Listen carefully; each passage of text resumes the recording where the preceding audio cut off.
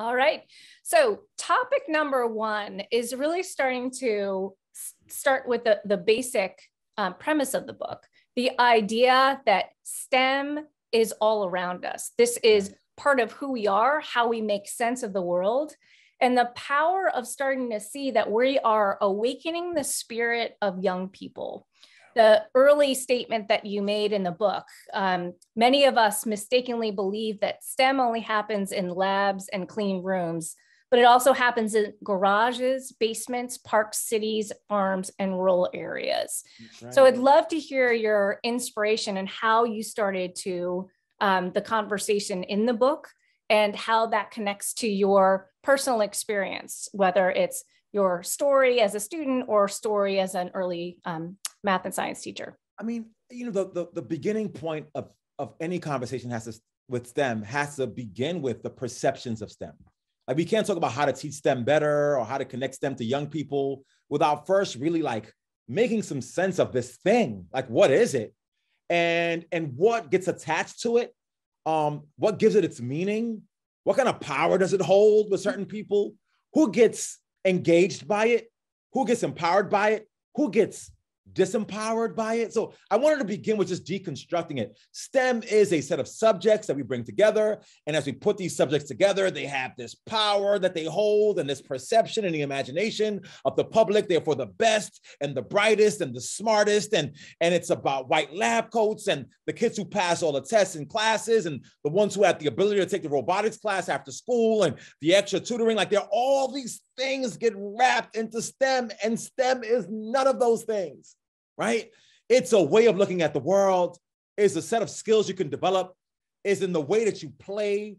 It's in the questions that you ask. It's in the perpetual discovery of new information. It's in how you can have these tools to help you make sense of the world. And it is a part of how we breathe and live. It's, it's in how we read our books now that tech. It's in how we walk down the streets. It's in making sense of global warming. It's in making sense of data around the pandemic. It's in people who have vaccine hesitancy. It's in it's in our everyday discourse.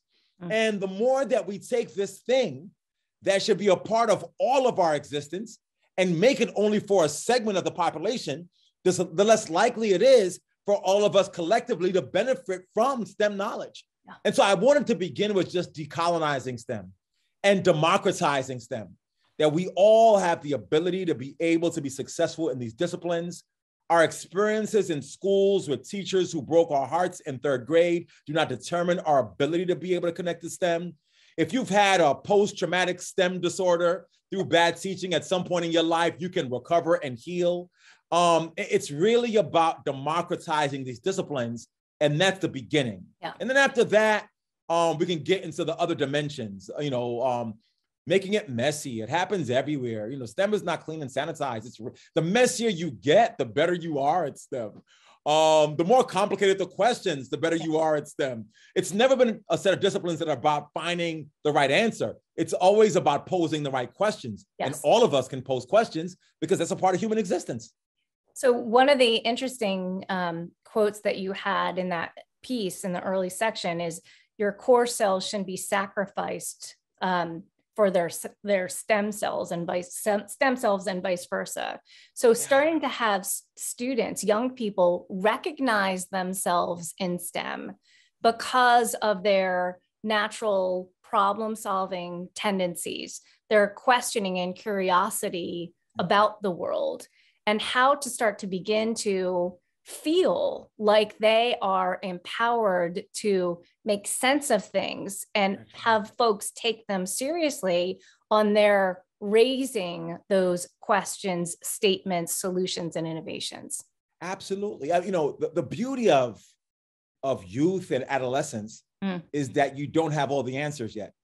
And so you're perpetually on a search of what the answers are to the billions of questions that you're asking. You come out in the world and you say, Oh my gosh, I cry. If I cry for loud enough, will they respond? Oh my gosh, they responded. They gave me food. Hmm. So, like that child is going through a scientific process. Pose a question, conduct the research, conduct research. What, what have my parents done over time? Here's the solution. So, the, the, the like our natural instinct is to engage in practices that actually align to what the folks who are engaging in STEM are doing on a university and research level. And so you the kind of creativity, imagination, question asking, inductive and deductive reasoning that the most brilliant people in the world are doing that we revere are the exact same thing that two-year-olds are doing every day. Yeah. And so we have to remind the two-year-olds and the adults in their lives that they actually have a natural inclination towards STEM from early. And then you have to convince them that the thing that they do mm. is actually STEM, right? Yeah. Oh my gosh, you asked me a million questions about that thing. And when you kept doing things to find out if that was the right answer, did you know that you were forming hypotheses and that you were posing deep questions? Yeah. Oh my gosh, you're a scientist. And so they start growing up thinking of themselves as scientists, right?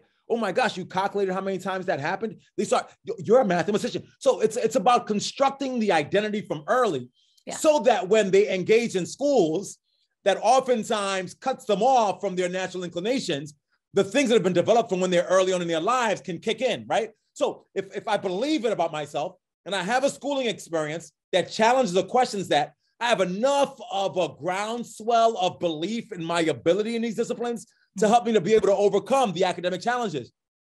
And this is not to say that STEM is not rigorous, right? It's not to say that it just all comes, it comes to you right away. It's part of the pro, like the rig, the rigor is not negative, right? It's, oh my gosh, I have another opportunity to express some creativity. So it's a lot of reframing of the language, yep. um, a reimagining of the discourse, um, and a forging of an identity from early that can help a young person to overcome the challenges over the course of their lives. So the interesting um, uh, example that you shared early on is the Central Park story yeah. of how, how, you brought your students to uh, Central Park and what happened as a result. So can you just quickly um, tell folks that story? Um, yeah, I'll share a piece of it that, that, that I think would be helpful for point. teachers and for parents. You know, it, it's, you know, I brought these young people into a park at Central Park, and it's a beautiful, lovely park. Everyone knows Central Park, and you know, you you have the Wollman Rink, and you have all the, you know, the beautiful architecture. It's just like a, a beautiful and gorgeous space. And these were young folks who I was teaching in a school in the Bronx, New York. And then I brought them to a local park that was near their school. And the first question they asked was, well, Dr. E, why does our park not look like that park? Um, there, there are things we saw there we don't see here. Our park looks a little bit more dirty. And so, and so it, it was literally about bringing them to different contexts and environments and having them draw conclusions about what was going on. And then I had them write a letter, you know, to a to a, to a government official about the fact that they don't understand why their park looks the way it does. And it was a great sort of heartfelt, like our park should be clean. We should have the same thing that Central Park does. And then we said, well, like, if you really want to convince them to do something about this park, you've got to be able to add some data, some research, some scientific information to your letter. So they wrote their initial letter that was beautifully heartfelt. Then mm-hmm. they conducted research to make their letter, you know, the, the you know, there, there, you know, chlorofluorocarbons in the air here, and there's an erosion that's going on in this park, and it's like, and so all of a sudden they're supplementing the natural inclination to address something in their community with some scientific and mathematical data, and unbeknownst to them, they were doing something that that, that felt good, you know, that, that that that really meant something, but they realized that if I understand the language of science and math, I can make my point better. Yes. I think teaching should happen in that way. Any good teaching begins with striking the imagination in the heart of young people to make them feel compelled to want to engage in the enterprise. And what you'll find is if a, if a young person is engaged and motivated and they feel offended by this thing, like, oh my gosh, this is, they, they feel like it's unjust, you know, yeah. you, you, you kind of like, you, you raise the, you raise the, the, the, the stakes a little bit. Oh, you're, you're really frustrated, aren't you? You're really angry, aren't you? You want them to feel. I don't care what the emotion is. It might be love, it might be hate, but I want the young folks to feel. Now, once they feel, I know then that I can dangle the content right out of their reach. And they will chase that content with fervor because the emotion has been charged to begin with. And so um, that's part of the, the sort of uh, pedagogical strategies that. I try to like lay the breadcrumbs for yeah. in the book. And that's really awakening the spirit of our young people because when it comes to clarifying the value of the content, it's grounded in the problems and the challenges and the ideas that are all around us. So absolutely, fantastic. Absolutely. You you you when you ignite the spirit, you you expand the mind. Um, and, and that's the way it's always worked. When you teach only to the mind, the mind is finite. they can only soak in so much information that you give just to their brain. But if you ignite the soul, the soul, the spirit of the young person, it expands the capacity of the mind uh, to make sense of content.